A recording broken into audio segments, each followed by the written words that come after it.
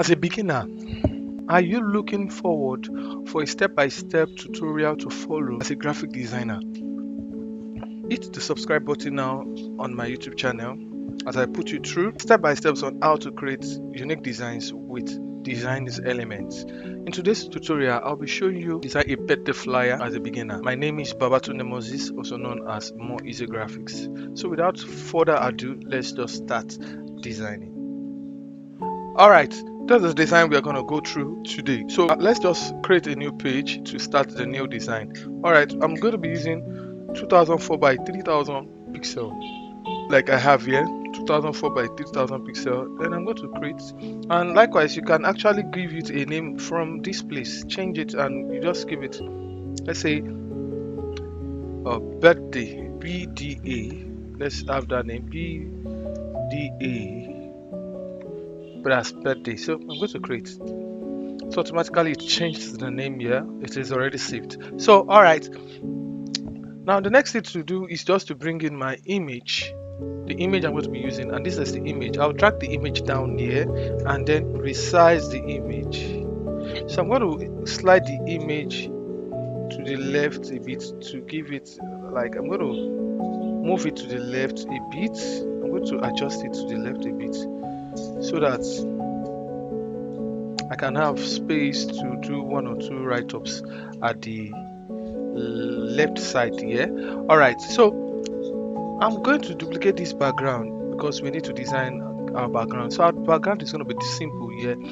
I'm just going to sample a color from his clothes then we use a paint bucket to, to pour the paint color on the background. So I've sampled the color then I'm going to drop the color here and then reduce the opacity of that color to maybe 25 let's say 20 let's say 30 all right 30 is now the next thing to do is to reduce to actually turn off the image we are using.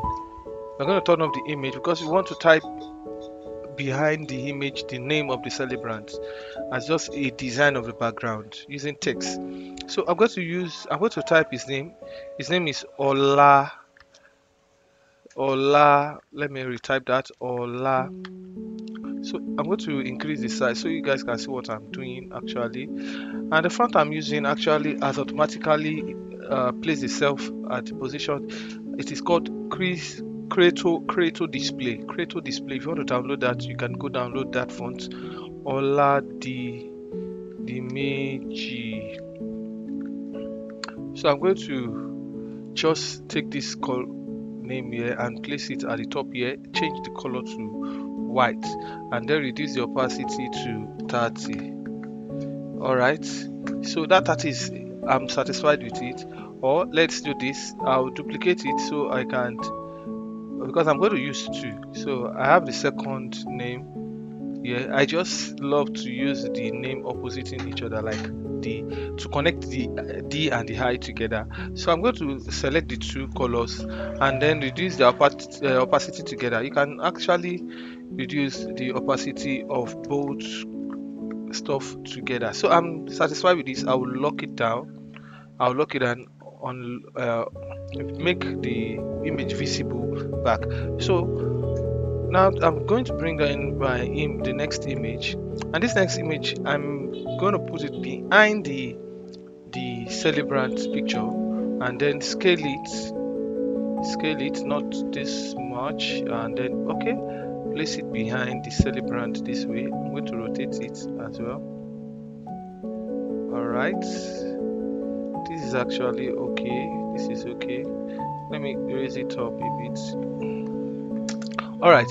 Now uh, if you notice the color of the background of that flower and the image and the background is not like uh, blending. So what i do is i will just take my hue and saturation to like i said then make a clipping mask it is a shortcut instead of right clicking and releasing the uh, creating a clipping mask here. So i just do that over here and then slide to where the color is matching up with the clothes. Now that's the point where it is matching up with the clothes. So i'm satisfied with that. Then the next thing is just to blur that flower because blurring it will make the picture the the celebrant picture project it out better than just leaving it to be this so they won't conflict each other. Then one more flower i'm going to bring in is this sunflower here. Another sunflower i'm going to reduce i'm going to scale it down a bit. I'm going to scale it and place it here. Uh yeah all right i'm going to place it here. Now i'm going to bring the sunflower down and then uh, like you see the sunflower is affected now alongside with the background. If you notice the background has changed its color. The background has changed its color and also the this remains the same color uh, but this takes another color. So i'm going to create a clipping mask back into this so it could affect this alone. Then i'll duplicate this hue and saturation to and do the same to here and also clip it into the image. Now if you notice the the the orange here is too much it's too ash i'll just slide it backward so that they could blend together. Now they are blending together.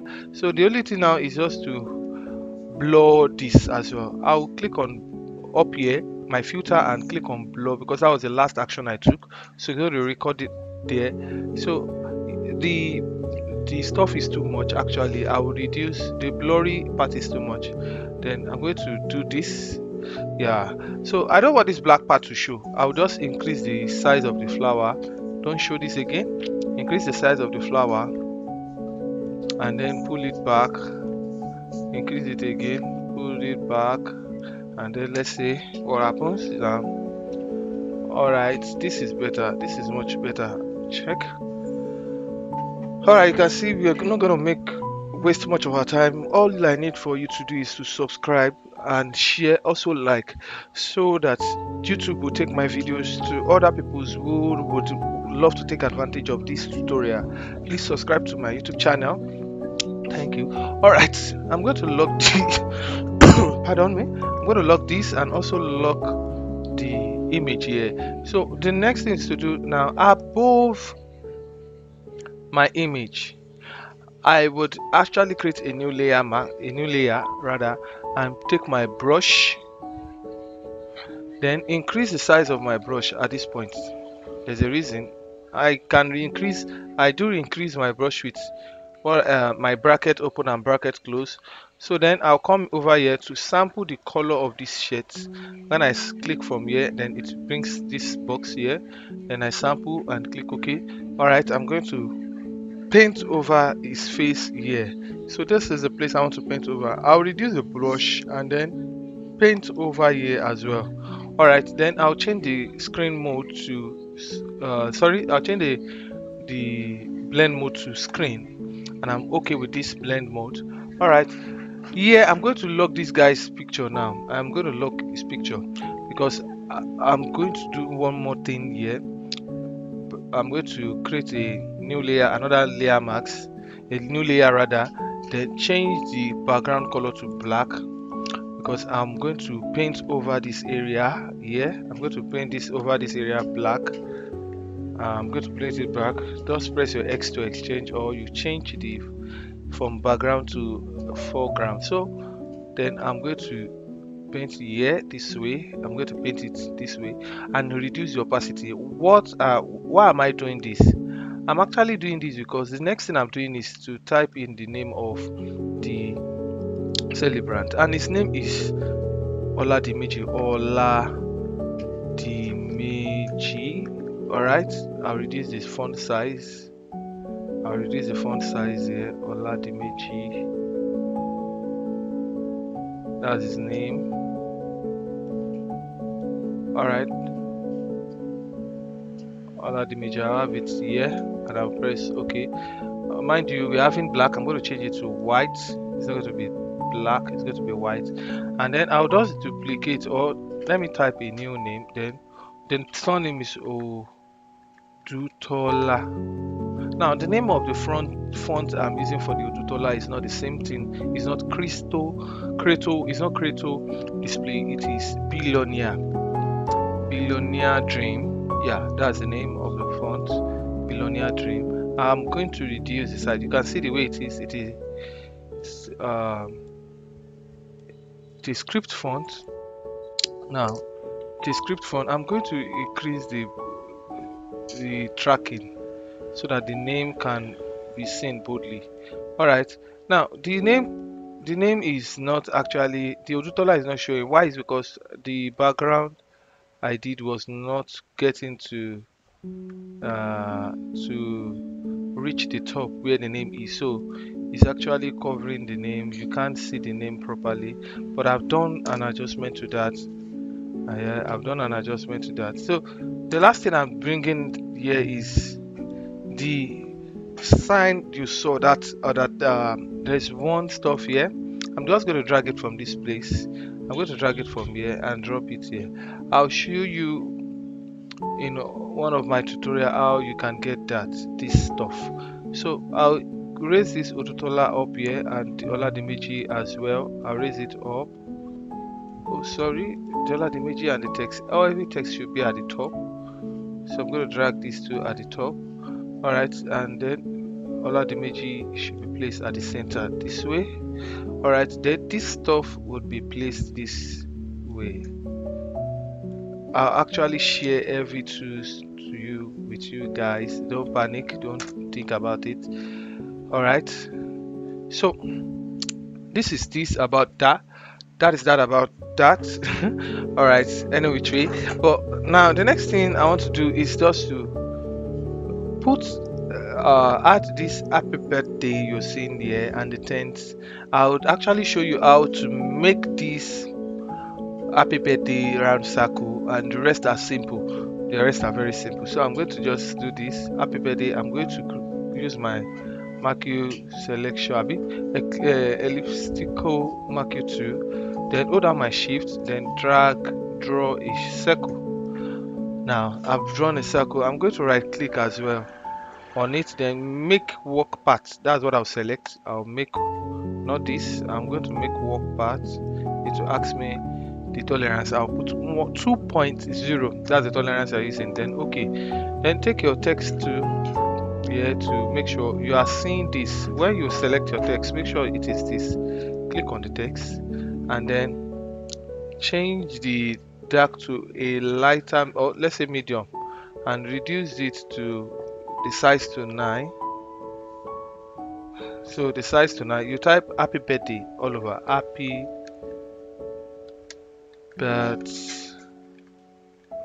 the now I'll change the color here to after I've highlighted it and I'll change the color to black.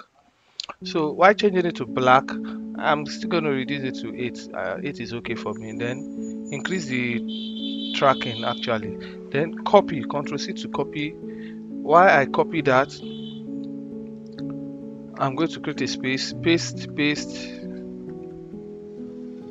Oh I think I copied the wrong thing here. I'm going to highlight it again. Copy. Alright then paste. Paste paste. Alright here I'll just have to increase the tracking so that everything will match up well. And that is that. Do you see how this is being done you can actually do it then then you type in every other thing. But for me I'm going to hide this and just drag that in just to save time. You get? So i've showed you how to do to create that easily just now. So you can just what you can do is just create that on your own when you want to practicalize this.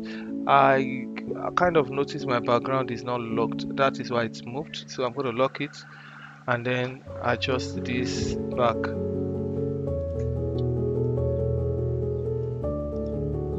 And also this is uh let me lock the background and some other parts that needs to be locked. All right let's see. Okay now i can select this alone. Aha i just want to make it to fall at the center. You can see the pink line. It says it fall it falls at the at the uh at the center so this is just it you've created a simple and a unique uh, design as a beginner. In fact, doing this, you don't look like a beginner again. You've taken your your design or your creativity to the next step. So this is a beautiful birthday design. It's simple. You don't need to add too much elements, just little elements and make it unique.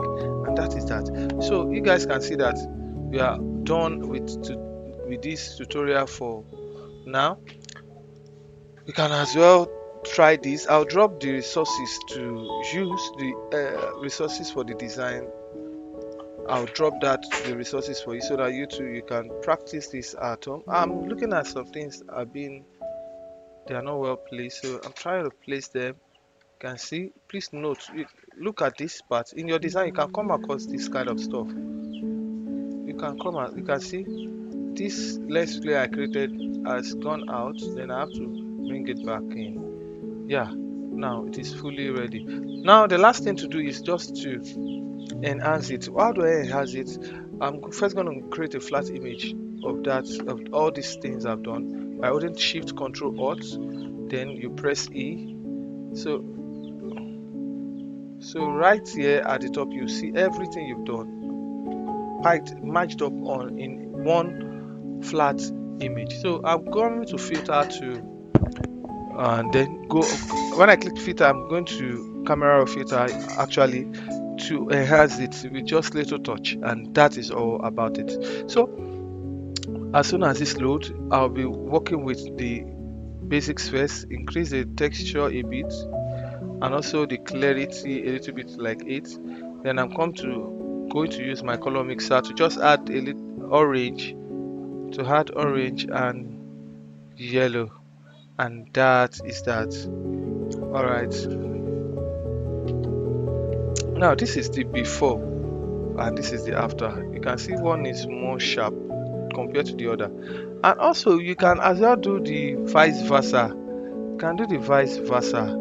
Like you can choose to uh, let me create another image here can do the vice versa whereby you would um, you would have to reduce your the image like you have to reduce the clarity of the texture and it gives you that blur and a uh, in your basics basic it gives you the blurry like this kind of effect if you use the clarity as well you see it gives that effect. If you don't want it to look like um, you can see the way it looks like it's out you are in a light now let me say okay anyone you choose you are good with it. If you want to use this or you use this anyone you are good.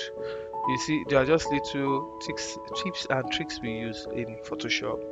And uh, this is how we make our design beautiful. So anyone you want you can make use of them. Now you i if you notice i reduce my the size of my image. Why i do that is it helps me to see the beauty of the image. If there's something wrong with it or it is actually okay that is why i uh, zoom out to check. All right you can as well note that that's another tip i give to you now. So please do well to subscribe to my page like and share also. Thank you for watching